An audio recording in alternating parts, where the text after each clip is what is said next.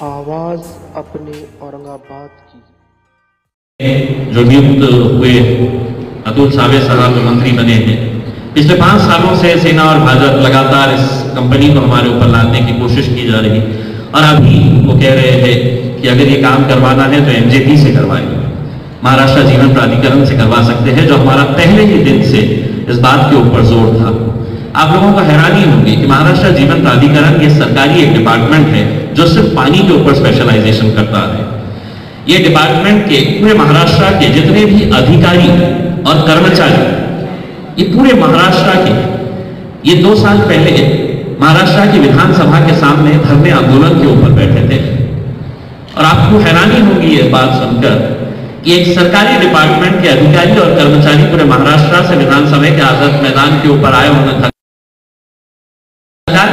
نویدن دیا ہم بھی ان سے ملنے کے لیے گئے تو نویدن ان کا یہ تھا کہ صاحب ہم بیٹھے ہوئے ہیں ہمارے پاس کوئی کام نہیں ہے ہمیں پگار مل رہی ہے لیکن ہمیں کام نہیں مل رہا ہے ہمیں کام دو تو اگر سرکاری ڈپارٹمنٹ کے لوگ جو پانی کے اندر اسپیشلائزیشن کرتے رکھتے ہیں اگر انہیں کام نہیں دیا جا رہا ہے اور ایک پرائیویٹ کمپنی کو لادا جا رہا ہے تو کہیں نہ کہیں ایک ویسٹڈ انٹرسٹ کسی کا تھا کسی نے کسی کو ایسا لگ رہا تھا کہ اورنگ آباد کی کہ جب کچھ غلط ہوتا ہے تو ہم خاموش ہو جاتے ہیں۔ ہم اپنی آواز نہیں اٹھاتے۔ یہ نیتاؤں کو بناتا کون ہے؟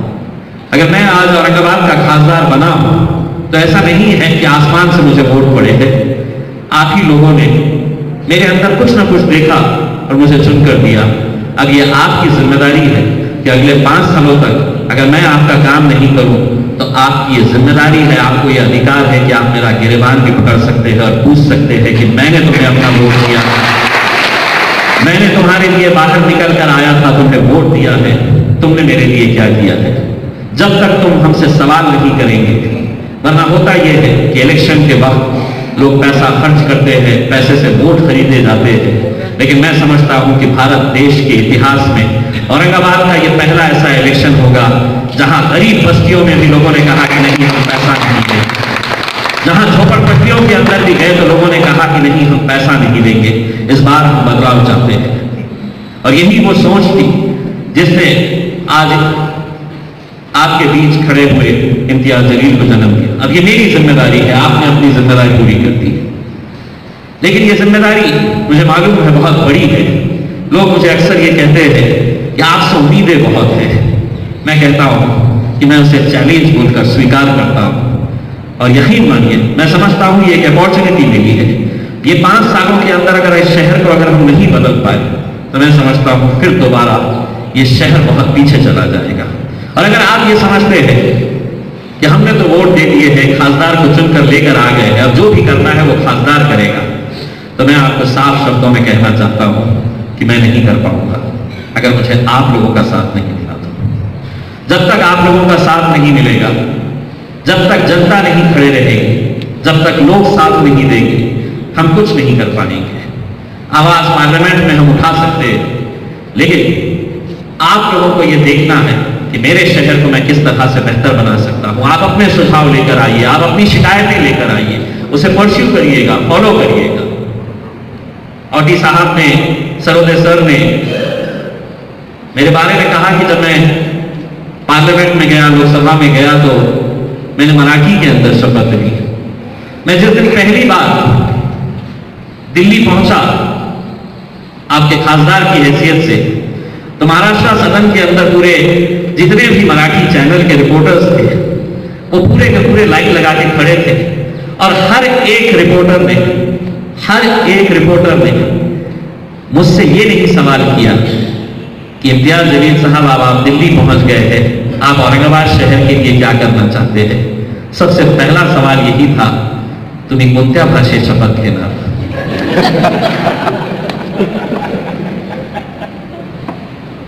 تو مجھے یہ احساس ہوا کہ ہم کیسی کیسی باتوں کے اندر الجھ کے رہ جاتے ہیں۔ اگر اردو میری مادری زبان ہے، تو مراٹھی پر بھی مجھے اتنا گرو ہے کیونکہ میں مہاراشٹرا کے اندر بیٹھتا ہوں۔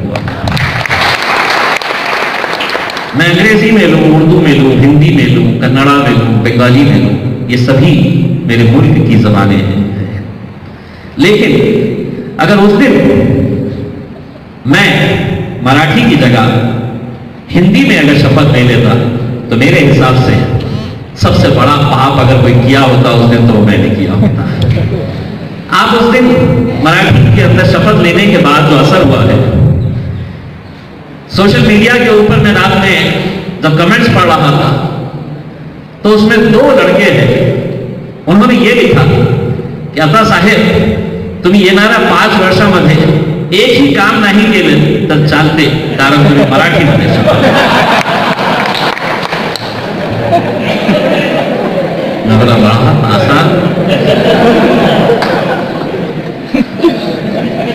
اس کے بعد میں مراٹھی اور زیادہ سیکھ رہا ہوں۔ جہاں مجھ سے کوئی شکایت کرنا شروع کرے، مراٹھی بولا رسول اللہ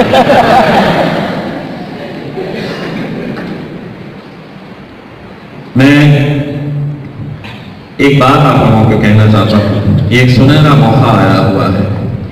لیکن آج آؤٹر سر نے جیسا بتایا ہے، اس شہر کی چھوی ہمیں بدلنے کی ضرورت ہے۔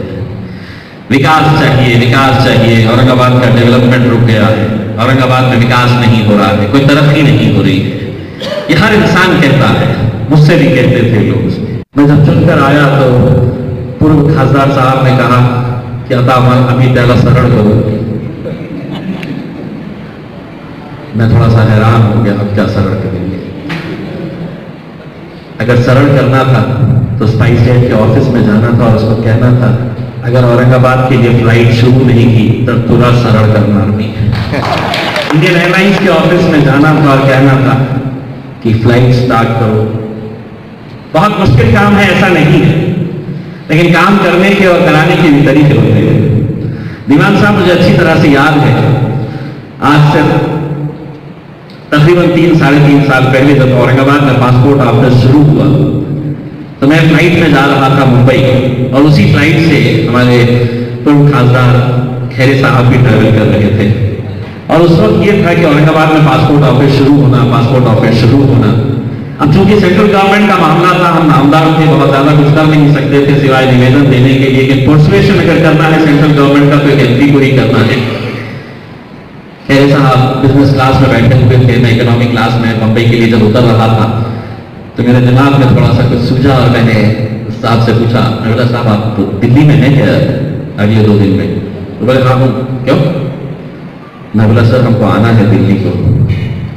بل کیوں؟ میں بولا، وہ اویسی صاحب نے ٹائم لیے ہے سشما سوراج کا۔ وہ پاسپورٹ آفس کے لیے ہم لوگ آ گئے ہیں پرسویشن کرنے۔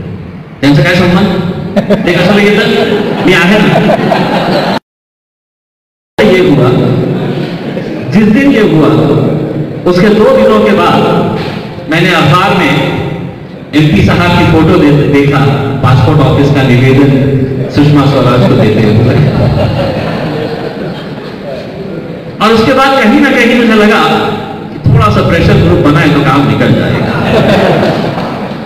اور ایک بات میں ہم لوگ پانچ گیٹس کے تعلق سے کئی بار ہمارے پالک منتری تھے رام داس کدم صاحب۔ رام داس کدم صاحب کو وینتی کیا کہ صاحب گیٹ کا۔ اور میں کسی پیچھے پیچھے لگتا ہوں۔ گوچڑی کی طرح چپک نہیں یہ کام کرنا ہے تو کرنا ہے۔ تو جہاں جہاں پر بھی پالک مندری صاحب میرے سامنے آ کر میں رکا تھا، سب وہ ہمارا گیٹ کا کرنا ہے۔ وہ کرنا کر دو کر دو تو اتنا میں ان کو پریشان کرتا لگتا وہ اگر کیبن میں بھی بیٹھتے تھے تو چلے جاتا، اب بس صاحب جے مہاراشٹر بھی اپنا گیٹ سے کرائی تو ایک اسٹیج ایسا آ گیا تھا کہ میں اگر ودھان سبھا کی لابی کے اندر اگر جاتا اور سامنے سے رام برسانا۔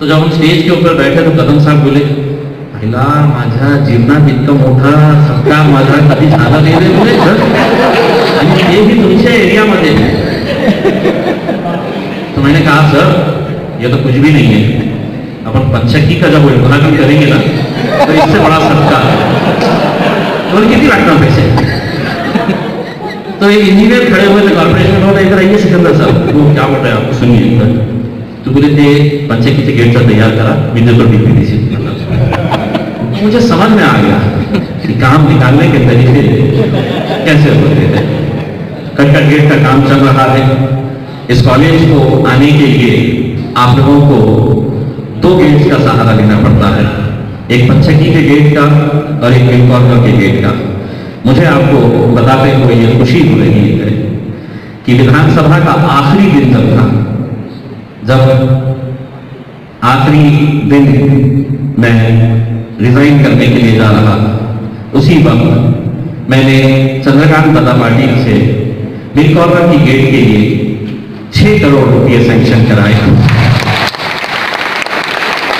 اس کا ٹینڈر پروسیس ہو چکا ہے۔ آپ کو یقین دلاتا ہوں، ایک مہینے کے اندر مل کارنر کے کوتوال پورا گیٹ کا کام شروع ہونے والا۔